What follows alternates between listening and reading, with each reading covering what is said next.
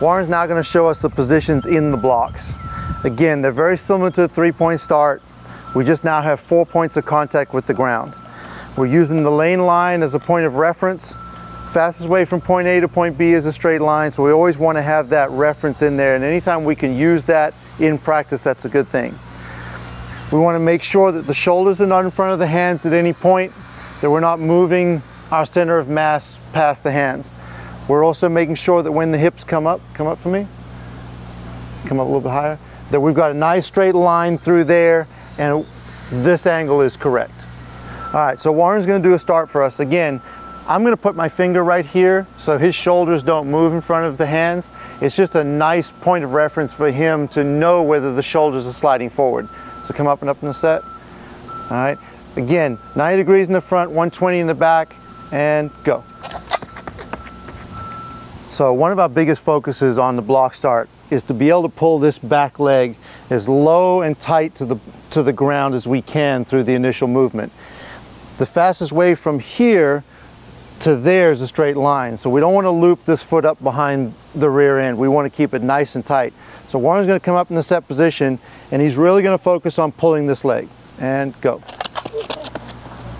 All right, next point of focus for us is what are our hands doing? Our hands dictate so much about our legs that they can have a negative or positive effect on how we come out of the blocks as well as how we can run. When we're pushing out, Warren's right hand is coming forward, right? It's mimicking that left foot. His left hand is going backwards. It's mimicking the right foot. It's pushing.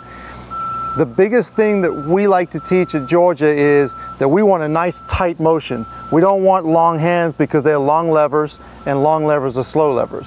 So as you see Warren come out, notice how tight the hands are in both front and back. We're looking for a nice tight angle both front and back. All right, go. Good. All right, so for the young athletes that find the triple extension out of the block very difficult. So we're talking about the front leg being here at 90 degrees and that athlete creating enough force with this front leg in order to find full extension ankle, knee, and hip, and hip being the most important, find full extension and find this position out of the blocks. This is a drill we like to do with those young kids. It's a great drill. You can do as many reps as you want. You can start practice with this. You can do it every day if you want. So we really like this drill. So Warren's gonna come up here. He's gonna find a 90 degree angle with his front foot or front leg. He's gonna put as much of his weight as he can on that ball of his foot and he's gonna find full extension through here okay hopefully at about a 45 degree angle because that's what we want out of the blocks and fully extend with the hands let the ball go at the end the weighted part of it makes it simulate what we're trying to do out of the blocks. So Warren's going to go ahead. Very nice.